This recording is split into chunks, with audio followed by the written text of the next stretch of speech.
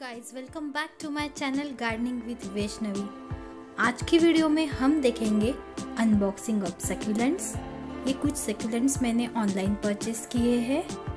Potting mix for succulents repotting of succulents तो चलिए start करते हैं आज की वीडियो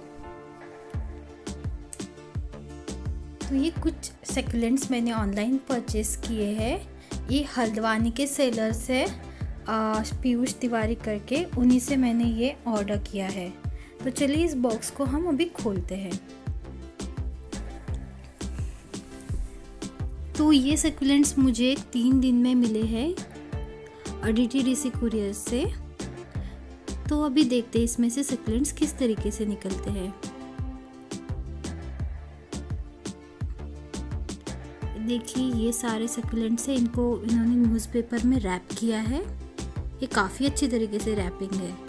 और इनको न्यूज़पेपर में रैप करने से ये शॉक एब्जॉर्बशन होता है। अगर उनको कोई शॉक नहीं लगता है और उनमें से टूटने का या ख़राब होने का खतरा कम रहता है। और ये जो सेकुलेंट्स ऑनलाइन आते हैं, ये बेयर रूटेड आते हैं। पहले इनको निकाल के हल्की सी छाया में दो दिन तक इनके रूट्स को सुखाया जाता है ताकि इसमें से मॉइस्चर कम हो जाए और ताकि ट्रांसपोर्ट में ये गले ना तो चलिए मैं आपको खोल के दिखाती हूँ, ये पहला सिकुलेंट ये मुझे इसका नाम नहीं पता एक्चुअली ये इन्होंने एज अ गिफ्ट दिया है। कुछ परचेज के बाद ये एक सेकुलेंट गिफ्ट देते हैं। तो ये इस तरीके से है। काफ़ी अच्छा दिख रहा है ना? और इसके जो ये छोटे छोटे लीव्स है, वो भी हम लगा सकते हैं, उनको भी अच्छे से रूटिंग हो जाएगी। अगला ये सकुलेंट है डोंकी टेल का। ये आप देख ही सकते हैं, ये डोंकी टेल है। फिर ये काफ़ी अच्छे से आया है, इसको टिश्यू पेपर में रैप करके आया है। अगला है ये है क्रैसुला कैम्पायर ये भी काफ़ी अच्छे से आया और हेल्दी सेकुलेंट है। अगला हमारा सेकुलेंट है ये ये है जेली बिन तो इसको ऐसे रेड डॉट आते हैं, अभी इसमें तो दिख नहीं रहे हैं बट बाद में जब रिपोर्ट करूँगी तब इसमें से कलर खिल के आएगा। अगला हमारा ये सेकुलेंट है गोल्डन ग्रास का। ये थोड़ा सा लग डैमेज थोड़ा सा लग रहा है बट कोई बात नहीं, ये चल जाएगा।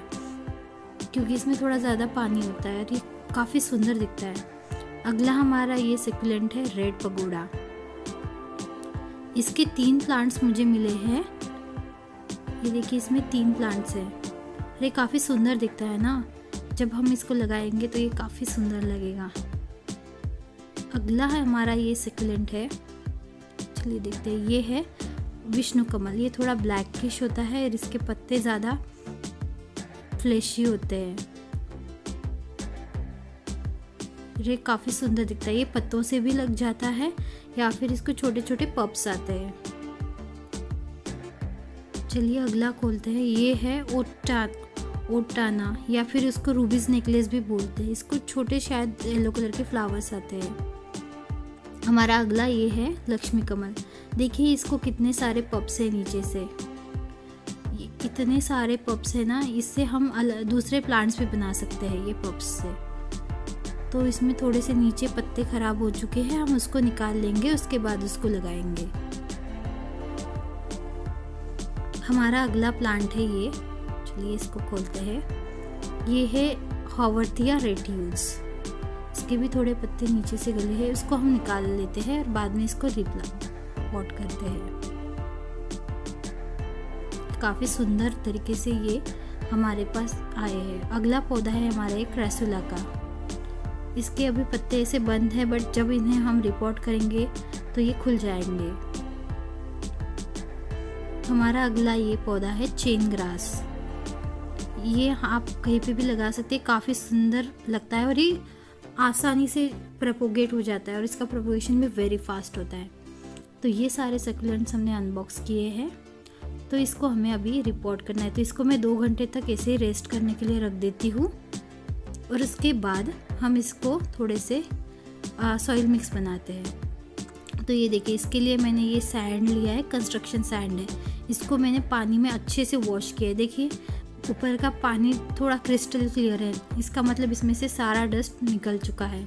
तो इसी तरीके की सैंड हमें यूज़ करनी है और इसको भी मैं सन ड्राई करूँगी अच्छे से। फिर ही हमें इसको यूज़ करना है। देखिए, कितनी सुंदर ये सैंड है। और आगे ये देखिए। आगे ये सिकलेंट्स है। इनको मैं अभी थोड़ा घर के अंदर ही छाया में रख देती हूँ। इस तरीके से मैंने पानी में इनको, इनके रूट्स को रखा है। ये देखिए, सारे रूट्स को मैंने इस तरीके से पानी में रखा है। और इसको मैं छः घंटा रखूँगी ताकि ये काफ़ी अच्छे से हो जाए। ये मैंने बनाया है पॉटिंग मिक्स पॉटिंग मिक्स में क्या है? तो मैंने इसमें two two part sand use किया है। Same part cowdung compost use किया है। हाफ़ पार्ट इसमें मैंने यूज़ किया है ये चिप्स और ब्रिक्स। और उसमें थोड़ा सा मैंने फंजीसाइड और रिप्सम साल्ट मिलाया है। मेरे पास तो परलाइट नहीं था। आप चाहे तो परलाइट और चारकोल इसमें यूज़ कर सकते हैं। तो मेरे पास ये दोनों चीज़ें नहीं थी तो मैंने इसी से ये पॉटिंग मिक्स बनाया है। अगर मेरे पास अभी कहीं नर्सरी में जाऊँगी, हमारे यहाँ तो नहीं मिलता है। अगर अमरावती वगैरह गई तो वहाँ से मैं ये खरीदूँगी। इस तरीके से मैंने इसको पॉट में भर लिया है। देखिए, सारे पॉट्स मैंने रेडी कर लिए हैं।